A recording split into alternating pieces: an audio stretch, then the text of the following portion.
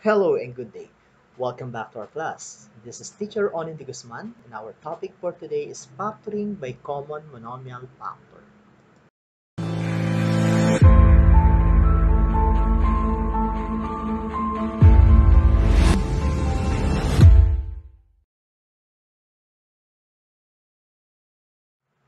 Here are the steps of factoring the greatest common monomial factor.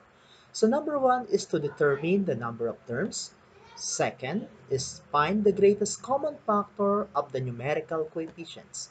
Once we know already the GCF of the numerical coefficient, the next thing that we will do is find the variable with the least exponent that appears in each term of the polynomial. It serves as the GCF of the variables. Number 4 is get the product of the greatest common factor of the numerical coefficient and the variable. It serves as the greatest common monomial factor of the given polynomial. Number 5 is find other factor by dividing the given polynomial by its greatest common monomial factor. And finally, write the final factor, factored form of the polynomial. Let's have example. Write x squared plus 2x in complete factored form. So the first thing that we will do is of course identify the number of terms. So by looking at this one, we have actually two terms. Next thing that we will consider is determine the greatest common number in terms of number. Ask yourself, what is the greatest number that can divide 4 and 2? And that number is 2. Next, in terms of the variable, we have x. Okay, so the next thing that we will consider is the lowest exponent of the variable.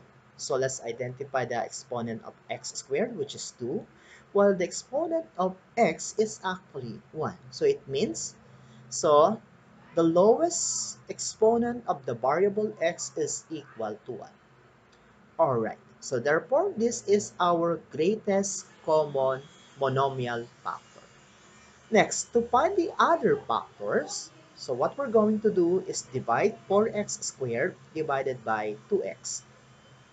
This will give us 2x. Next, 2x divided by 2x is equal to 1. So therefore, this is the factor form. So we have 4x squared plus 2x is the same as 2x times 2x plus 1. Now, to verify whether your answer is correct or not, so to check, let's try to multiply 2x times 2x plus 1. So, let's distribute 2x times 2x, this is 4x squared. While 2x plus 1 or 2x times 1 is equal to 2x. So therefore, the factors of x squared plus 2x is equal to 2x times 2x plus 1. Let's have another example. So write 5x squared minus 10x cubed in complete factor form. So again, so we'll, we will consider 5x squared minus 10x cubed. Then ask yourself, in terms of numbers 5 and 10, what is the greatest number that can divide 5 and 10? And that number is equal to 5.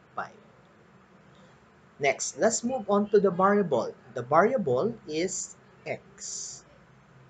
And we will look for the lowest exponent. We have 2 and 3. And the lowest exponent or the lower exponent is equal to 2. So, the exponent of x is equal to 2.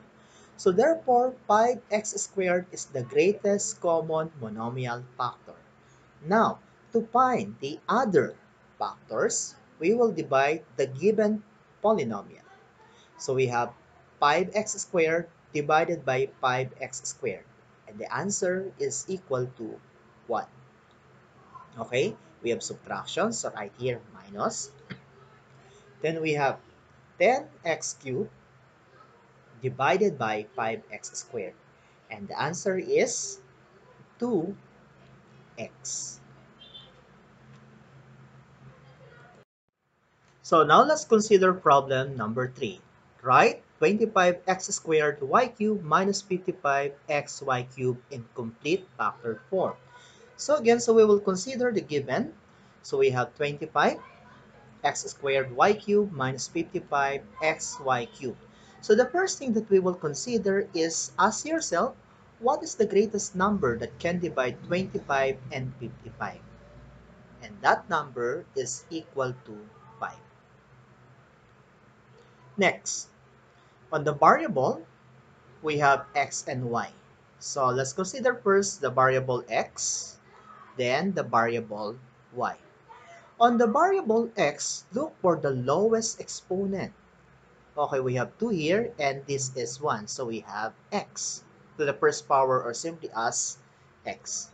Next, on the variable y, okay, so we can rewrite this one as simply as q. Okay, so therefore, 5xy cubed is the greatest common monomial factor of the given polynomial. Okay, Next, divide 25x squared y cubed by 5x y cubed. So number first, 25 divided by 5 is equal to 5. Then we have x squared divided by x is x. y cubed divided by y cubed is simply as 1. So, or simply as we have now the factor as 5x minus 55 divided by 55 is equal to 11. x divided by x will give us simplest 1.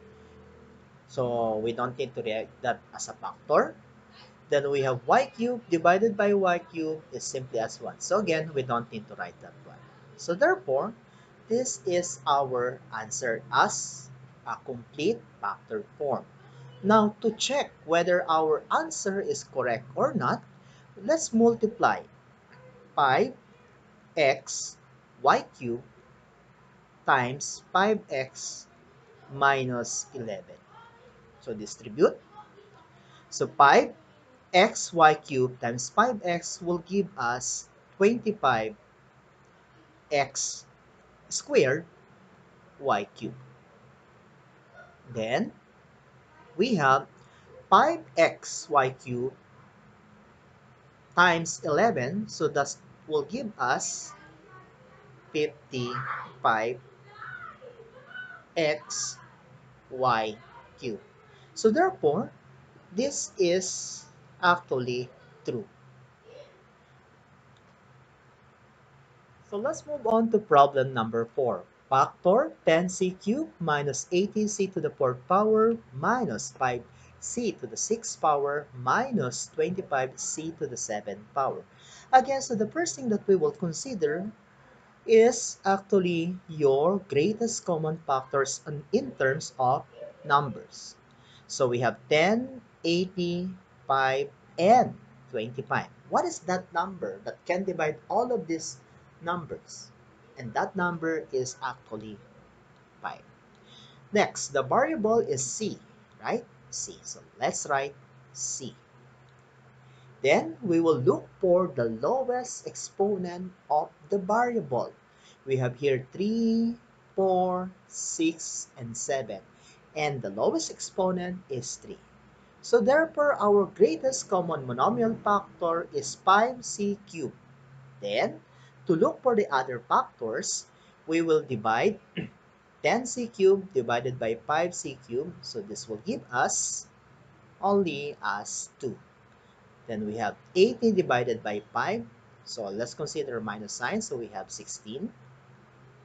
Then c to the 4th power divided by c cubed. That is simply as c. Minus 5c cubed divided by uh, c6 uh, divided by 5c to the third power. So it will result as simply as c to the third power. And finally, so we have subtraction here. 25c to the 7th power divided by 5c cubed. So this will give us 5c to the 4th power. So therefore, this is the complete factored form of the given polynomial.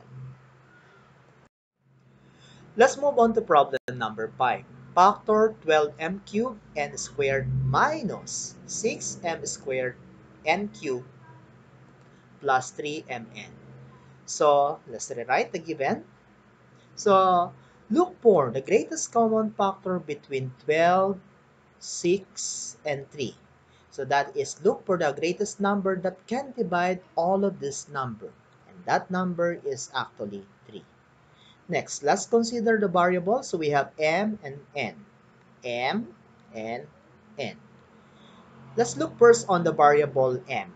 So look for the lowest exponent. We have 3, 2, and 1. So simply as m na lang.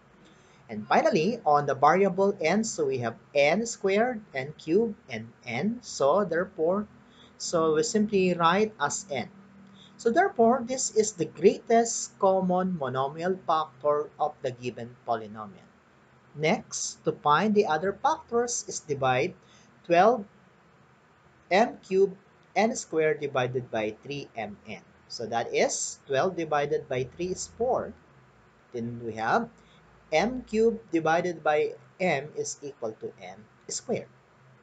Then n squared divided by n is in simply as n. So next, right subtraction. We have 6 divided by 3 is equal to 2. Then we have m because m squared divided by m is equal to n. n cubed divided by n will give us n squared. And finally, 3mn divided by 3mn is simply as 1. So therefore, this is the complete factor of the given polynomial. So that ends our discussion on factoring the greatest common monomial factor. Again, this is teacher Onin de Guzman. Do not forget to subscribe to my channel so that you will be notified about my new videos. Thank you.